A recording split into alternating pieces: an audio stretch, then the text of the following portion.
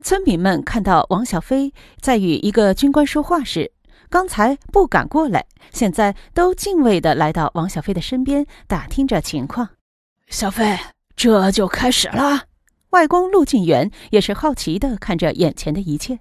虽然王小飞跟他说过这里会有很大的发展，他也相信，却也没想到的是，军人们直接到来。这下子，他看向那些军人们的眼神都充满了敬畏之情。看到村民们都围了过来时，王小飞笑道：“ 外公，你这村长估计当不长了，下一步各村就会合并起来，这里的发展可就不一般了。多大个村长啊！只要能够让这里发展起来，让我不当村长又如何？”听到外公这样说话，王小飞笑了笑道：“说的是啊，大家很快就会发展起来了，你们想不发财都难了。”小飞，你太厉害了！自从你来了之后，我们这里一天一个样啊！王老板，下一步会发展成什么样子？你跟我们都说道一下呀！看到大家都围了过来，王小飞大声道：“乡亲们，从今天开始，你们的生活就会发生巨大的变化了。你们看吧，党和政府对于你们的生活情况都是非常关心的。现在，为了让你们能够有一个快速的发展，军队都派来了。”下一步，部队的同志们就会在这里搞建设。到时候，我们这片山区的四周会修建一个环绕着的高速公路。我们这山里面每一座山都会从里面穿通，高速公路会把我们各村完全的连接起来。到了那个时候，你们想出山的话，坐着车子，只要很短的时间就能够走出去了。村民们听到王小飞所讲的话，头脑里面有了一个画面的闪现。王小飞又说道：“还有啊，这里会发展成为一个特别的大村子，各种的大公司、大企业，各种的商人，甚至就是国外的公司都会到来。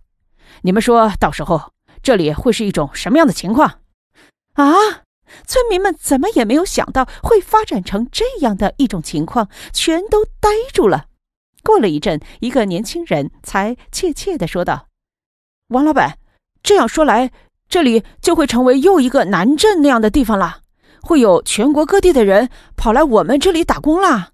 不错，你们的好日子就要来了，坚持一下吧，很快你们就会成为先富裕起来的一批人了。你们将会看着这里从贫困走向富裕。太好了，终于有盼头了，都是王老板给我们带来的呀！听到王小飞讲出来的话，大家的脸上都露出了更多的笑容。一个个都在憧憬着美好的未来。今天注定是不平静的，那么多的军人到来，更是全天都是直升机的轰鸣。再看着军人们开着推土机平整出来大片的土地，又看着那一个个的行军帐篷搭了起来。面对着这一切，村民们好奇之极了。远处一些村子的人也赶了过来。大家就蹲在四周看着军队上的人们做事儿，仿佛永远也看不够似的。好看吗？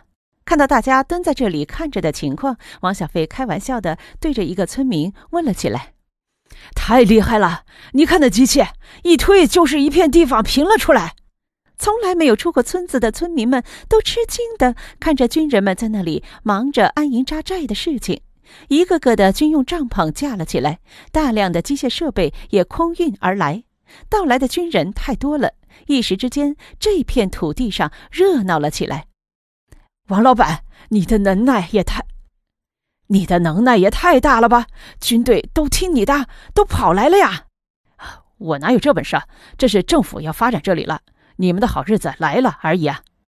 这样就好了，我们也可以趁机赚些钱了。小六子，你以后说媳妇儿可就容易了。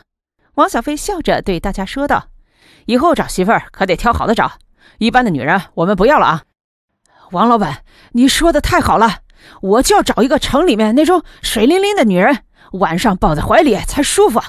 众人一听，都大笑了起来。邓毅的事情也多，王小飞也没有去打扰他。看到他们都有自己的炊事员在做饭，什么都带来了。王小飞干脆就不去管他们了，